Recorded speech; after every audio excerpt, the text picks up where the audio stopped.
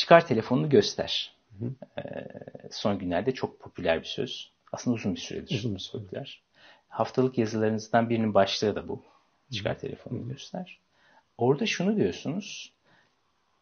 Bu telefonlar telefonuna zincirlenmiş, hayatları telefondan ibaret kılmış insanların başına kakılıyor. Hı hı. Telefonuna zincirlenmiş insanlar derken neyi kastediyorsunuz?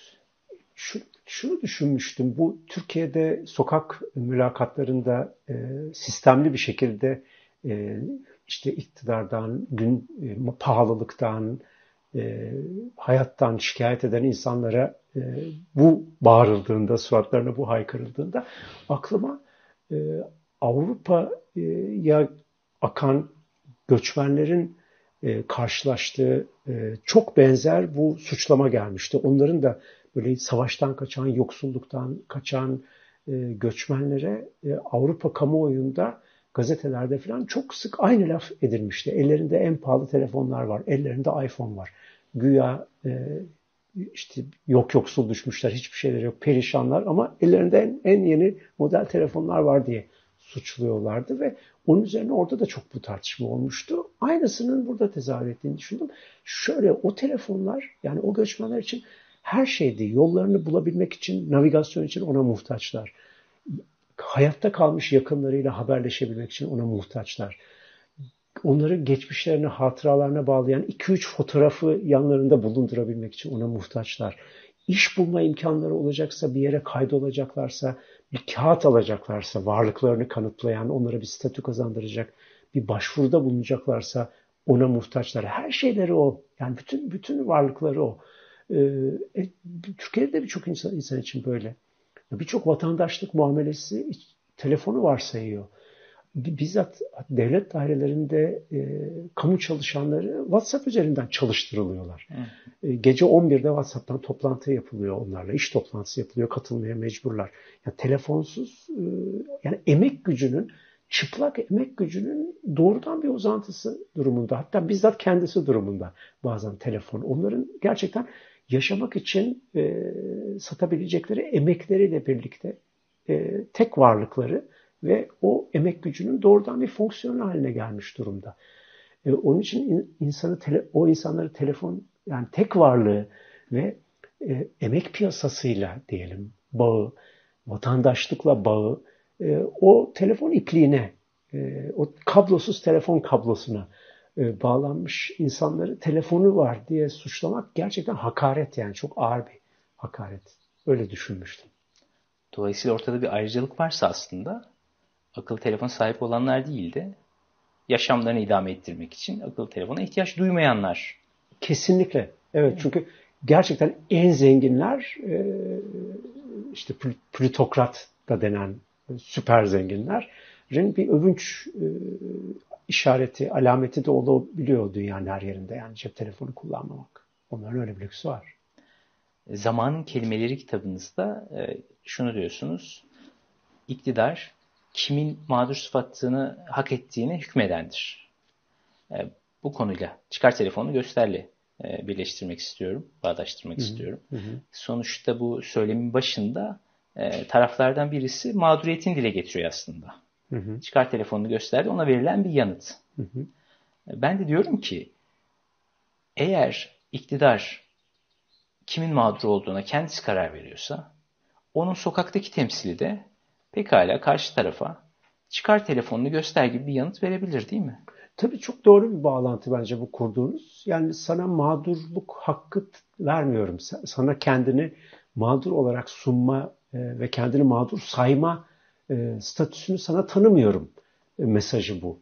Çok güzel bir bağlantı bu kurduğunuz. Ben de evet, tamamen en fikrim.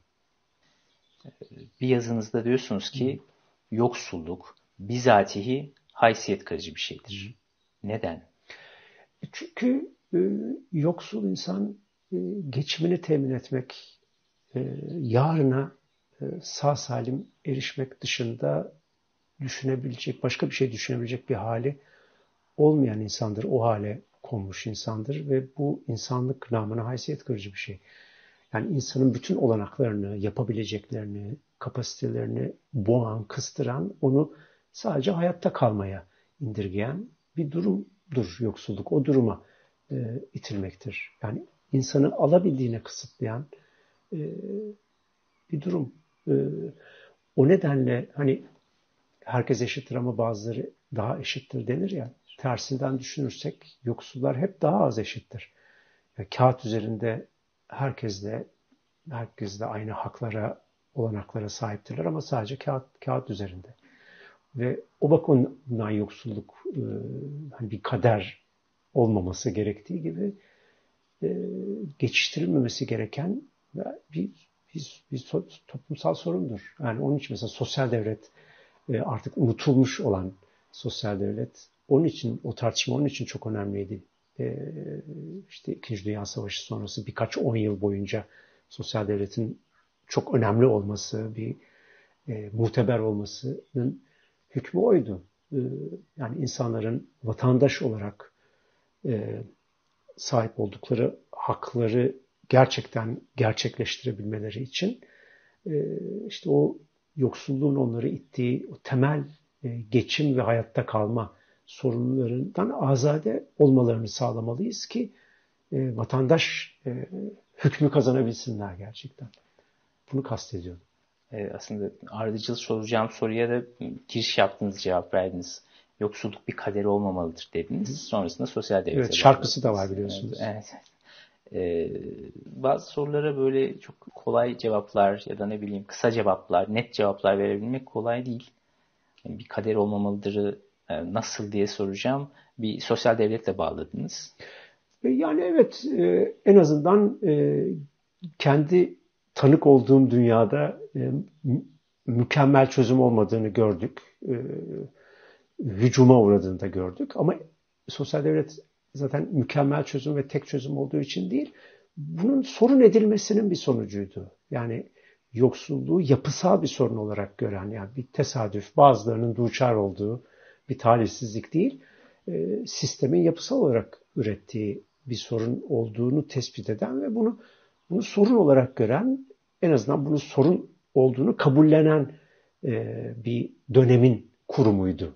E, bugün böyle gören bir dönemde değiliz. Bunun böyle görüldüğü bir dönemde değiliz. Öncelikle e, zaten öncelikle sorun e, bunu bunun kabulünü sağlamak. Yani yoksulluğun hakikaten bir insan hakları sorunu e, olduğunu e, bir yani haysiyet sorunu olmaktan belki daha e, net ve somut bir tan tanım bu. Bir insan hakları sorunu olduğunun kabul edilmesini sağlamak öncelikle meselemiz bence şu zamanda. Peki o zaman şey de sorayım. Bunun bir insan hakları sorunu olarak görülmemesi bir sadece bize ait bir durum mu yoksa global global bir şeyden bir durum. bahsediyoruz? Tabii, tabii yani bu hani çok kaba ve tel, telgrafik cevabıyla işte sosyal devletin e, tasfiye edildiği işte bu neoliberalizmle tanımlanan kısa tarifiyle son 30 kabaca son 30-40 yıllık dönemin bir olgusu. Bütün dünyada. Aslında işte bu tüketim alışkanlıklarından dolayı daha geniş e, kitlelere ihtiyacı var mevcut sistemin gibi bir genel geçer bir söylem vardır. Hani e, dolayısıyla bunun yani neoliberalizm bunu neden bir sorun olarak görmüyor sizce? Ee, aslında belki e, hani neoliberalizmin dediğim gibi şöyle en azından bir 30-40 yıllık tarihi var ama içinde kapitalizmin şimdi içinde bulunduğumuz evresinde yani şu aşağı yukarı 10 yıldır e, daha çok tartışılan mesele aslında e, kapitalist sistemin dünya üzerindeki büyük nüfus kitlelerini artık hesap dışı e, görme eğilimine girdiği yönünde.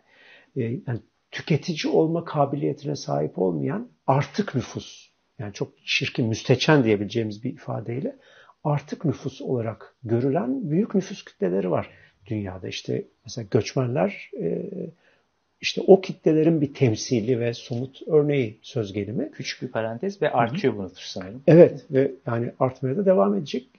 Yani kapitalizmin içine girdiğimiz son evresinin en büyük problemi bu. Yani artık nüfus olarak tekrarlayayım. Çünkü e, dediğim gibi e, tekrarlıyorum çünkü e, korkunç bir vizyonu ifade ediyor.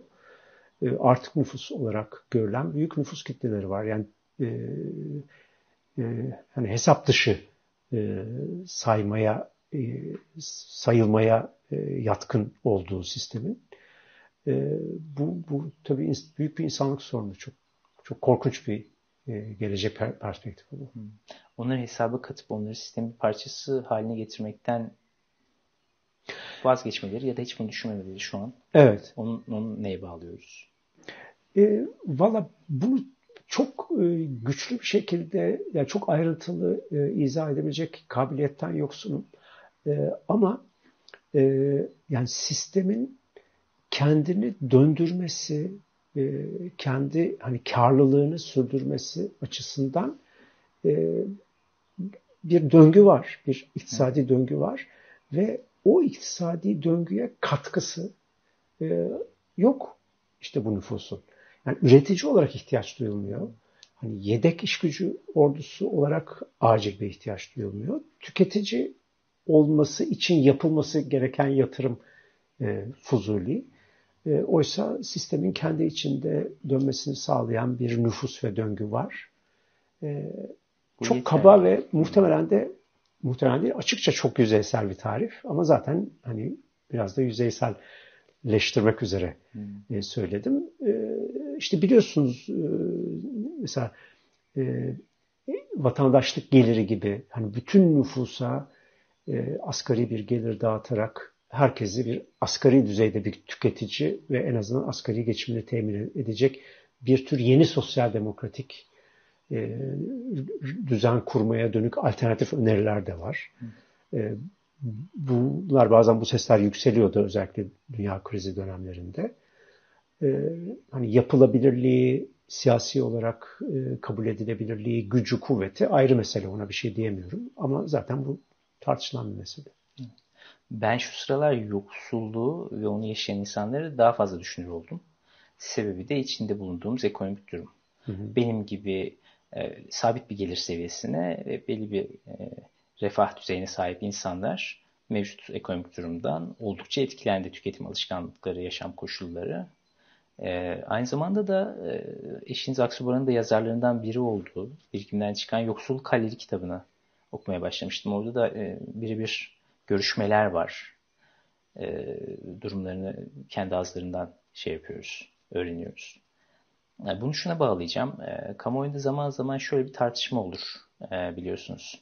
Makarna ve kömürü oy satmak. Hmm. E, gerçektir ya da değildir. Ama bu yoksulluk meselesini düşünürken e, şu kana kanaate vardım. Yani insanların en temel ihtiyaçlarını karşılama uğruna bunu yapmaları böyle bir şey yapıyorlarsa eğer şayet böyleyse çok normal, çok doğal bunda yadırganacak bir durum. Ee, bu nedenle suçlanacak olan onlar değildir. Tabii ki. Ee, yine şayet bunun doğru olduğunu varsayarak söylüyorum. Ee, bu bir döngüsel de bir durum değil mi? Yani çok önemli bir hak. Seçme hakkı.